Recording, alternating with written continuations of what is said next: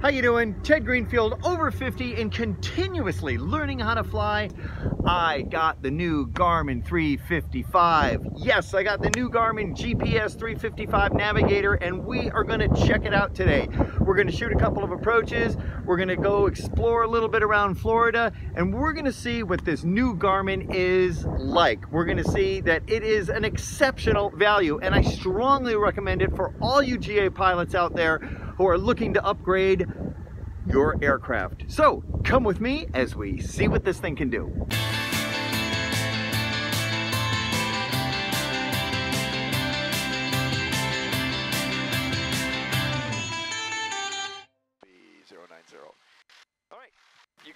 So the first thing that I noticed about the 355 is its operation is almost identical to the GTN 650, which I had some experience before, so the transition was really pretty much seamless. I downloaded a trainer app from Garmin that went right on my iPad, and I played around with it for about three weeks before I actually got the unit. This is how I have my airplane set up. So if you look, I have two G5s and I have my iPad, and the Garmin is right on top of my stack, just underneath my audio panel.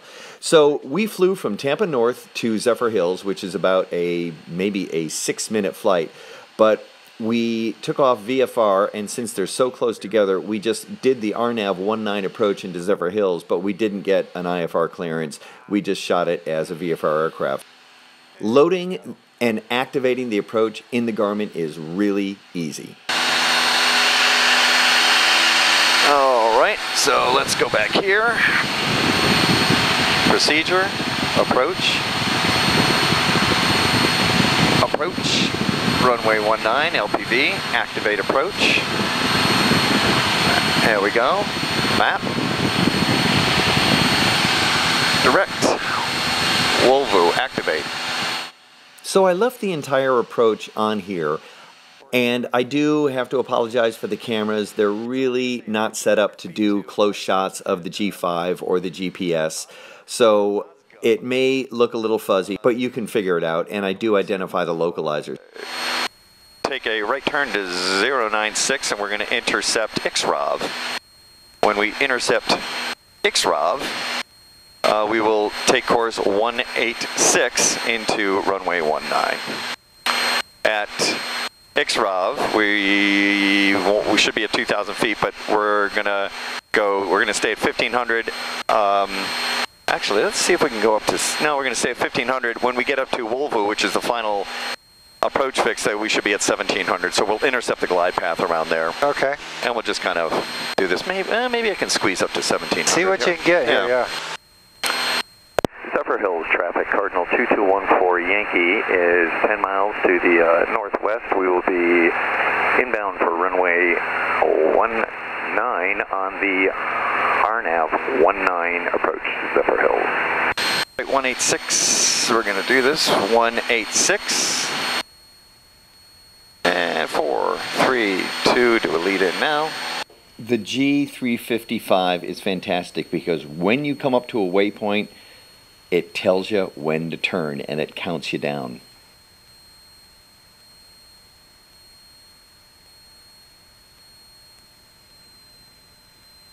And we can slowly start descending to 1700.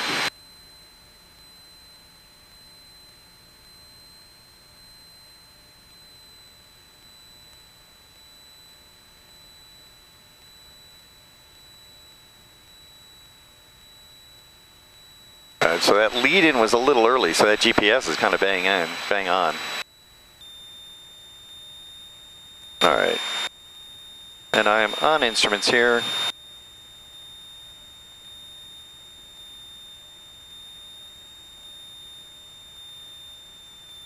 All right, we got a lot of wind, so I'm not going to...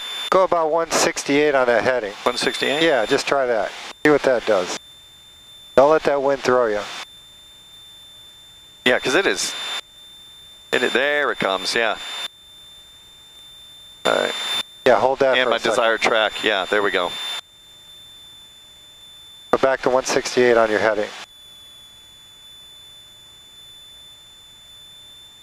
Trust, trust your instrument. Or you can fine tune that. The- Yeah, no, this is well, we got a heavy wind here, so that, you're Right. you're right. right. Go right, with so we're going down to 860. And 340 is our decision height. So 1600 for 860. that. At there yeah, we go. Look at that. Look right at on. you. You are the master of Uh. this airplane. I think I'm just the owner, I think you, but I'll take it. Okay, 1500 for 860. And 168 is that magic number. Look at that. You're right. And I'm just solely on the instruments right now, not looking out the window until 1400 for 860.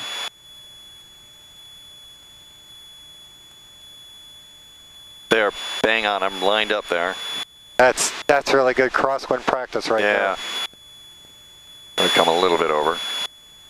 And just to let you know, my friend Brian here is a flight instructor and a very good one at that, and he has some great ideas. So, what he does here is not that unorthodox. There. Let the wind blow you back. Yeah, that's right. You're right. You're right. Okay, there we go. Now it's changing, so we just three mile final. Zephyrhills traffic, Cardinal 221 front of you, on the RNAV uh, 19 approach, three mile final, Zephyrhills. All right, 1,100 for 860. All right, I'll let that wind blow me back. 101. All right, lights on, flaps are down. We got a lot of flaps, so we're not, we got a lot of wind, so we're not going to go with any more flaps than that. Let's try this. This will help to not distract you. Yeah. Now, this approach was a little bit tricky for two reasons. Number one, it was one of the first approaches that I shot with my Garmin. And then number two, the winds were really squirrely. They were dead crosswinds at about 11, gusting to about 16, 17 knots. 350. Fly your needle. Yep. Good. Looking good. 800 for 340.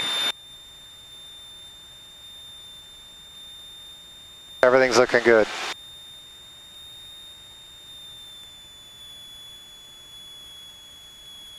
Six eighty for three forty.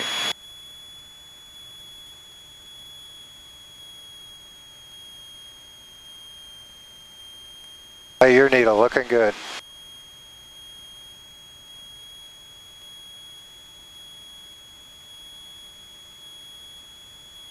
Five eighty for three forty. One mile from the runway. Five hundred for three forty. You're dead on. Five hundred for three forty.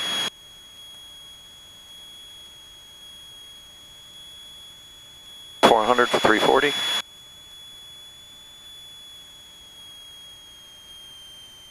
Three fifty. And you popped out of the clouds.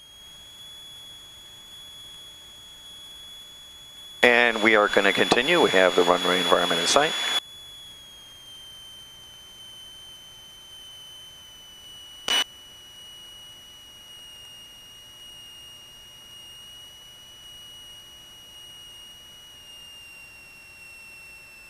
Glasses up. Ah, good one. I'm looking at it, I'm like, why does it look so strange? Got a little bit of a left left crosswind. Yeah. Pretty much direct.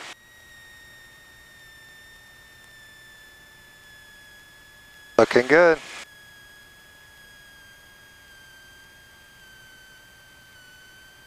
Got it. Nice. Alrighty.